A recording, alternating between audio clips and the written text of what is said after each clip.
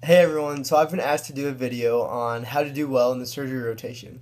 And so please keep in mind that I have not taken my shelf exam yet. So all the advice that I'm going to be giving you is pre-shelf exam. And then I'll give you an update here in about five weeks after my shelf exam and let you know how that goes. Alright, so stick around and here's some of my advice.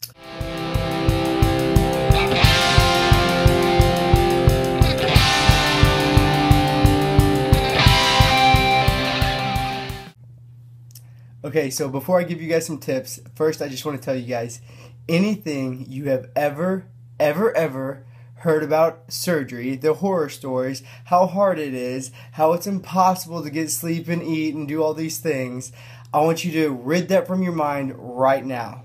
Okay, I have loved surgery. I've loved everything about it. And yes, it's hard. And yes, you do not have much time, but it is an amazing rotation. And I hope you guys find, find it just as great as I have. If you go into it saying, I'm going to make the most of this opportunity, I don't care how hard any of my attendings are on me, I don't care how hard any of the surgeons are on me, I'm going to attack this rotation with everything I have. I'm going to make it the best rotation out of any of them. The hardest rotation will become my cornerstone to making all the other rotations just as incredible. So attack this hardest rotation with everything you have and make it an amazing rotation just as I have. I've loved surgery, and I hope you do as well. All right, so to start with, we just want to talk about some books. So this is just very basic stuff. The first book that I'm going to recommend is Pestana's or Dr. Pestana's surgery notes. Okay, so this book is going to be pretty much your Bible for the shelf, I believe. And what this book is is it just kind of goes throughout all of di- all the different types of surgeries and tells you what you need to know. It's a very easy read. It has about 150 questions at the end of the book, I believe. Okay, next up, I do not have it with me right now, but it's Surgical Recall. In surgical recall, this book is going to be great for the pimping that goes on during the surgeries. So, within each and every surgery, there will be a surgeon in there with you that will probably be pimping you or asking you a lot of questions about the surgery, the anatomy, the physiology. And surgical recall kind of helps you be a master at each surgery to make sure you don't look like a fool in front of those surgeons. Okay, so to impress the surgeons, make sure you study up on surgical recall before your surgeries. The next book, and this isn't a must, but I do recommend it, it's Case Files. So Case Files is a great book because it'll give you a certain case and then walk you through it. So it tells you the presentation, the etiology, how to manage it. And within surgery, management is a huge deal. Okay, so Case Files is another good one to read up on. If you just do a case a day, you'd be able to finish the book probably twice by the time your surgery rotation was done with. The next book, and this isn't a requirement, but whatever book you want to study for step two, I recommend that you get that book now and just utilize it throughout your rotation. So mine would be the USMLE Master the Boards book. I've read the surgery section in it twice so far. I'll probably read it one more time before my exam, and that's pretty much all the books that I use. Okay, but this book here, Pestana's Dr. Uh, Pestana Surgery Notes. This is the main one that you really need to know cold for your shelf exam, and then utilize UWorld.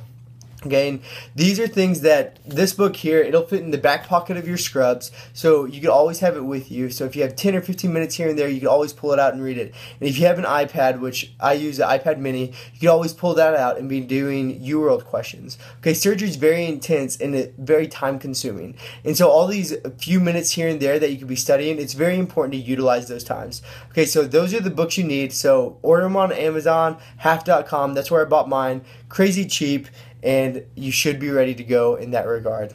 The next topic. This is something that uh, intimidates a lot of people, but it's probably my favorite, one of my favorite parts, and I just love it. It's how to do well on rounds. So every morning at about five o'clock, we get to the hospital and we do pre-rounds. So we go figure out all the information we can on our patients. Okay, and then at six o'clock, we do rounds with our residents, and on these rounds, you have to give the presentation about your patient to your resident. So the things that you need to do well for this is one, be prepared. Make sure to know your patient cold. Know everything about them so that if they do ask it, you'll be ready for that. Okay, so knowing your patient well will go a really long ways. And the next is how to give a presentation of your patient. See, in surgery, they do not care about absolutely everything. They want the pertinent positives and just the pertinence of your patient. Medical students love mnemonics, so the mnemonic I use to make sure I have everything covered in my presentation is APO VIP LAP. So APO VIP LAP. Okay, so what that means is A would be appearance, And this is just kind of a general generalization about your patient. So it's a 56 year old African American male that presents with blah, blah, blah, the chief complaint okay, and why you're seeing them. The P would be post op. So post op day what? Uh, post operation day three, okay? And then the O would be overnight events. Were there any acute overnight events that you need to mention? Did they have to give them packed red blood cells? Did they need uh, pain medicine overnight? So anything that happened overnight, you need to include that there. Next, we're starting the VIP part of the mnemonic. V, the vital signs. So you'll list off all the vital signs. Next would be I, ins and outs. This is very important in surgery. So you need to know the urine output. Do they have an NG tube? Do they have a Jackson Pratt? All those things would go in that section. And then the P part would be the physical exam. So then you'll give out your physical exam and you're not going to tell them everything you did, just what's pertinent to the operation that they had. Okay, and just a side note, really quick, is that every resident will probably have a different way that they like it, but this is just a basic outline to help you not miss anything, and then you can adjust this to what your residents like. Next is labs. All right, and so then you'll just list off all the labs, and some residents won't make you list all of them. They might just have you list the ones that may be out of whack or that needs mentioning, or the ones that you're kind of uh, trailing or observing throughout the last couple days. Okay, and then next would be an assessment and then your plan for that patient. And with this, let this be your plan. Make this be your patient and you come up with a plan for them and then they'll tell you, well, tell me, maybe you should have went this route. I didn't really agree with your plan here. This I think this would be a better option. Don't just read through the notes and get whatever plan a different doctor has down. Let this be your plan for your patient.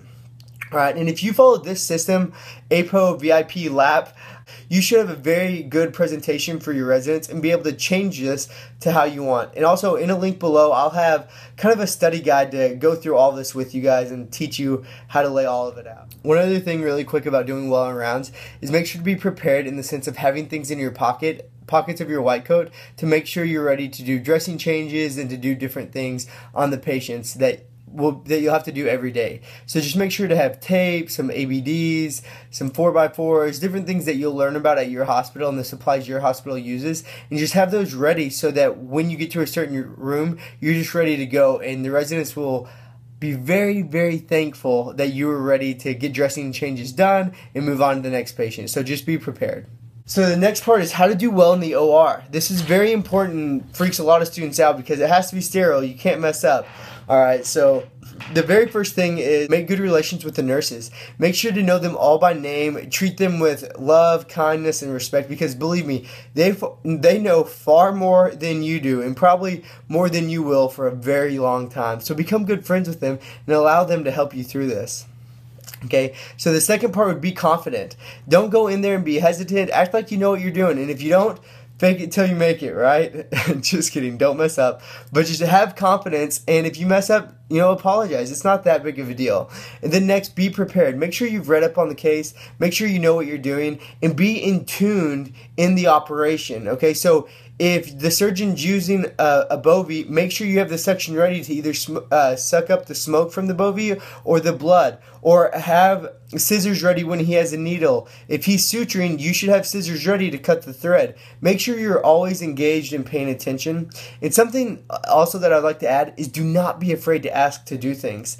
Okay, the worst that could happen is they tell you no. Anytime I'm in the OR, I ask if I could do everything. Okay, I just want to make sure that I get as much experience as I can out of this, and you should do the same this was a very, very short overview of just some main topics that I've done to do, hopefully, do well in my surgery rotation. Now, if you read Surgical Recall, it'll give you much more detail about how to do well in surgery. So, I do recommend reading the first few chapters of Surgical Recall, and it'll touch on all this stuff and more and do a much better job at it. But I just wanted to share with you my perspective so far. And then, just some final words get ready Everyone talks about how serious and how intense of a rotation this is, but it's been incredible. I love it so much. You do not have much time for much many other things that you say that you'd like to do. The days are very long, they can be very stressful, but make the most out of it. You know, wake up in the morning just ready to go to that hospital and to love every single person that's in there. Wake up ready to study in the times that you don't have time to. Wake up ready to just push and push and push until you can't anymore, where you feel so dog tired that you're ready to give up be ready to push a little bit further. Not for this rotation, but for your future patients, as I always say. I hope you guys enjoy the surgery rotation as much as I have. It is going to be hard, it is going to be time consuming. But if you make the most of it, it could be some of the best weeks you've had.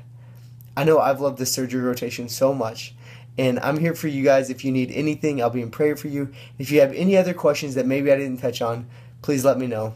I love you all so much, and I hope you enjoy the surgery rotation as much as I have.